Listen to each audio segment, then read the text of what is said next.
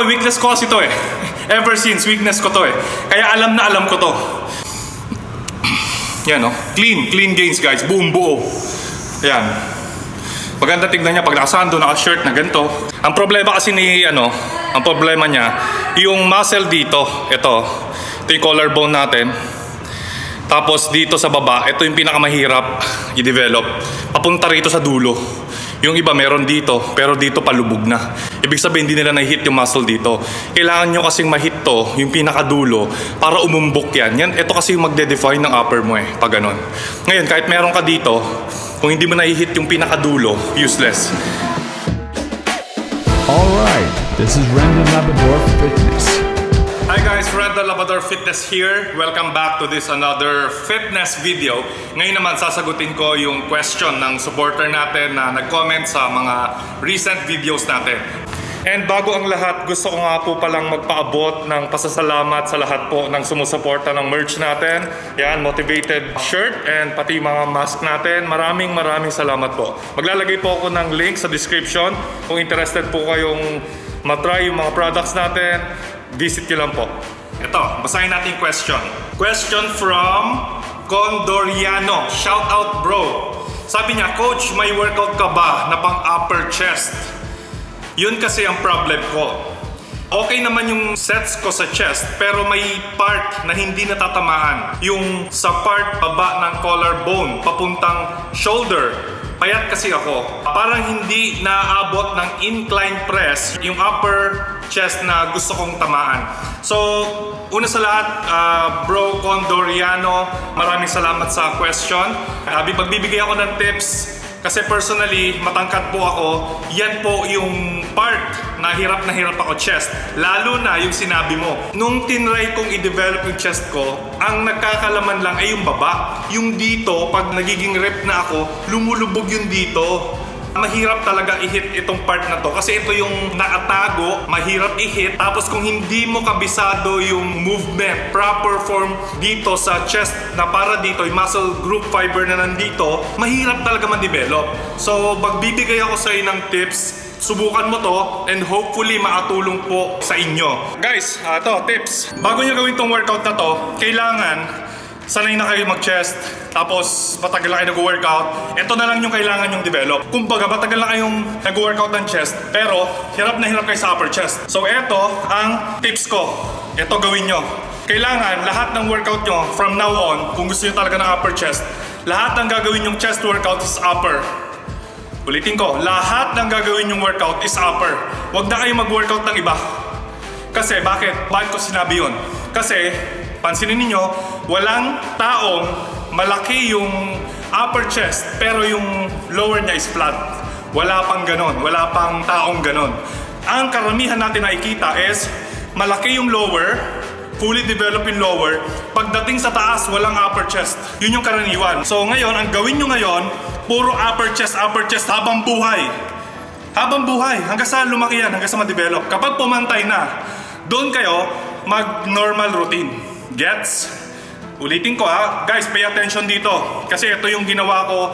Ang tagal ko nag-workout ng chest. Walang nangyari kasi matangkad ako. Ang hirap palakihin. Flat talaga yung upper ko. Ngayon, iniba ko yung routine ko. Pinag-aralan ko ano ba kulang. Ngayon, hindi na ako nag ano, uh, flat. Hindi na ako nagganong mga workout. Ang nag-focus ako, puro upper, upper, upper, upper. Lahat upper. Kasi kapag lumaki yung upper natin, sure, ball, na sasabay na yung lower. Gets? Tandaan nyo yun ha, kapag napag-develop nyo to, sasabay na to. Kasi matatamaan na rin siya eh. Kaya okay lang na puro upper gawin natin kasi papantay at papantay yan. Pag nagpa-flat kayo or yung mga normal routine natin na aside from upper, ito madidevelop mabilis, ito ay mahuhuli. So ang pangit tignan. Kaya ako, ang diskarte ko, mas okay na ma-develop ko yung pinakamahihirap, which is yung upper, kasi alam ko naman nasasabay yung lower. So yun yung tandaan ninyo ha, pay attention. Tapos, ipapakita ko sa inyo yung tips na ginagawa namin para ma-develop talaga yung upper. Oh, weakness ko kasi to eh. Ever since, weakness ko to eh. Kaya alam na alam ko to. Gawin nyo to guys. Puro upper. So, pakita ko sa inyo yung tips. Ayan o. Oh. Yan o. Oh. Clean. Clean gains guys. Buong buo. Yan. Maganda tignan niya pag nakasando, naka-shirt na ganito. Ang pinaka-importante dito ay form, guys. Proper form pa rin ha. Sobrang halaga nun isipin nyo, imagine niyo, ang gusto natin palakihin, ang problema kasi ni ano, ang problema niya, yung muscle dito, ito, ito yung collarbone natin. Tapos dito sa baba, ito yung pinakamahirap i-develop. Papunta rito sa dulo. Yung iba meron dito, pero dito palubog na. Ibig sabihin, hindi nila na-hit yung muscle dito. Kailangan nyo kasing ma-hit to, yung pinakadulo, para umumbok yan. yan ito kasi yung magde-define ng upper mo eh, pag ganun. Ngayon, kahit meron ka dito, kung hindi mo na-hit yung pinakadulo, useless. Hindi magiging maganda yan. Hindi magiging mukhang buo. Kaya ang habol kasi natin dito, yung illusion na buo yung upper mo para maganda tignan. So kailangan mo ma-hit yan. Ang muscle kasi natin, simula dito sa kilikili, yung dulo, papunta rito. Yan. Pag ganon, pag ganyan, pag ganon, pag ganon, pag ganon, pag ganon. So dito lahat nagmumula. So imagine niyo, ang gusto natin palakin, ito ah, ito yung dugtungan eh. Ito yung dugtungan na nahirapan siya eh. Ito yung dugtungan, pakita ko sa inyo, na tiga Raymond. Para ma-imagine niyo kasi ito yung crucial eh kahit anong sipag nyo kasi, kahit anong supplement nyo, kung hindi nyo talaga papag-aralan yung proper, wala, kahit anong gym kayo ng gym, kahit ilang beses kayo sa linggo, kahit may twice a day pa kayo, ang dami yung supplement, hindi lalaki yan. Kailangan nyo kasi mahit yan eh. Pag nahit nyo yan, ang bilis ng development, ng growth. So ito, yan. Ito kasi muscle natin ha. So dapat, ito ang mahit nyo. Ito mahit nyo. Simula dito, hanggang dito sa kilikili. Yan ha. Hanggang dito. Ito. Itong diretsyo na to. Ito yung pinakamahirap, yung pinakadulo, pinakakanto. Tapos sunod dito. Sunod dito. Pinakamadali ito. Yung lower. Kasi ito yung laging malaki sa lahat ng tao eh. Ang pinakamahirap talaga upper. So dito kayo mag-focus guys. Ito yung, ito yung pinakamahina na hindi natin na-hit. Na chest tayo ng chest. Ang natatamaan lang lower. Kaya yung iba, puro lower yung malaki. Ang bihira lang yung maganda yung upper. Mag-focus kayo sa upper. Kayo ng suggestion ko. So ito ah, focus kayo dito. Ngayon, para maximize natin yung itong muscle group na to, itong maliit na to, ito yung focus natin sa upper chest. Stretch ah, pagbaba, hihiga ako sa incline bench. Tapos, ang pag nakahiga ako, ang angle ng kamay ko, dito. Okay? Bakit nandito? Hindi nakaganto, hindi nakaganyan. Nakaganto. Kasi, eh, yung, yung angle kasi ng muscle na to, pag ganito, pas, pasunod doon sa kamay ko. Yan o, pasunod doon. Okay? Pasunod doon. Kasi pag ginanito mo na to, tapos dito ka nagpo-push, ang malaking tatamaan dyan is baka madamay na yung front. Front na to eh. Boundary na eh. So baka matamaan. Ang ginagawa ko dyan, pag humiga ako, incline, medyo binababa ko ng ganyan. So gagawin ko dyan, pag nakahiga ako doon mamaya, pakita ko sa inyo, ibababa ko ng konti. Kasi slightly ano siya eh, nakaslant eh. Kasi yung muscle natin nakaslant ayan oh. Pagbaba ko ng kamay ko, nakaslant yan. Hindi diretso yan, nakaslant ayan oh. So yun yung ihihit ko kasi pag dito ko binaba yung bar or dumbbell, pwede rin, may stretch siya ng gusto.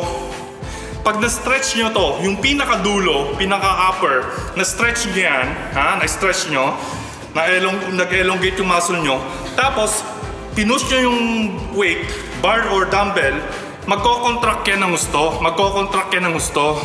So kapag naabot nyo yung maximum contraction at maximum tension, dun yung growth. Dun yung muscle growth. Tandaan nyo yan. Ito ang pinakamahirap na hit. So pag-aralan nyo yung movement. Ulitin ko, medyo slant. Kahit nakahiga kayo na incline, tapos kahit anong hawak nyo, bar or dumbbell, same movement, same angle. Kaya hanapin nyo yung angle na mag-work sa inyo. Kasi iba-iba yung haba ng kamay ko, iba yung frame ng katawan ko, yung chest ko, iba rin. So hinanap ko all throughout the years yung mag-work sa akin. Make sure na maramdaman nyo yung hatak dito, hatak. Tapos kapag naramdaman nyo yung maximum na elongation ng muscle nyo, tsaka nyo naman siyang i-push hanggang sa mag-contract hanggang sa mag-contract yan, no? nagko-contract yan, no? gets nyo? Kasi pag ito ang nag-contract hanggang dito sa dulo, dun nyo siya nabigyan ng work. Kailangan nyo kasi itong mabigyan ng work guys eh, itong dulo. Hanggat hindi nyo siya napapahirapan, hanggat hindi niya nararamdaman yung workout na binibigay mo sa kanya, hindi siya lalaki. Kahit anong supplement sa bili mo dyan. Kahit bago pa yung shorts mo, bago pa yung sapatos mo. hindi lalaki yan. Kahit motivated na motivated ka, hindi alam ng muscles mo yon. Kailangan nyo mag-focus, iparamdam nyo dun sa muscle na to. Gumising ka, lumakas ka, yun yun. Pag, pag yung weight na nilagay mo, make sure na ipapabuhat mo siya dito sa upper mo. Hindi braso mo ang bubuhat. Ang, ang karamihan kasi, mabigat yung kinarga, dinala sa momentum, yung braso lumaki. Yung chest na iwan na ganun. Lubog to. Kasi hindi na-develop yung chest. So kailangan nyo talagang stretch yung ano nyo, yung chest nyo. So importante na malaman nyo lahat ng basic kung paano yung tamang pagbuhat ng ano, ng bar, ganon. Tapos, itong diskarte na sinasabi ko sa inyo advance, yun yun. Kailangan nyo mahit talaga to. So sige, higa ako doon, papakita ko na medyo nakabend, tignan nyo. Let's go! So ito, bubuhatin ko. Kailangan talaga naka-arch your back. Tapos yung abs nyo dapat naka-contract para stable kayo. Para lahat ng, ng work, dito ko dadalhin. Ito yung pinakamahina eh. Ito yung talagang pipiliti ko lumaki. Dito ko dadalhin lahat ng weight. So example lang, hanapin yung range ninyo. Huwag masyadong tight, huwag masyado dito. Hindi matatamaan to. Apupunta sa triceps to kapag medyo papalapit na. Kailangan, ano, sakto lang na yung wide, yung angle ng ano nyo para mapunta rito. Not too narrow. Not too wide naman. Siyempre, wala, mahirapan ka naman masyado niyan. Kailangan hanapin yung comfortable na ano kayo. Pabubuhat yan. Archer back. Tapos tulak ko. Yan ha. Ready? Tapos pagbaba nyo, make sure na lahat ng work nandun sa upper. Yan. Tapos stretch. Yan o. Na-feel ko na yung stretch ng dulo. Tapos itutulak ko gamit din yung muscle na yon. Ah, yan. Kaya huwag kayo magmamadali. Yan o, pinaramdam ko yung work doon sa maliit na muscle na yon. Ah, stretch. Then, dahan-dahan, squeeze. Yan o, squeeze. Para lumaki siya. Stretch ulit. Yan o, ramdam ko doon. Ah, yan. Ni-squeeze ko siya. Sa baba. Pinaramdam ko talaga doon sa maliit na muscle na yon. Gets nyo?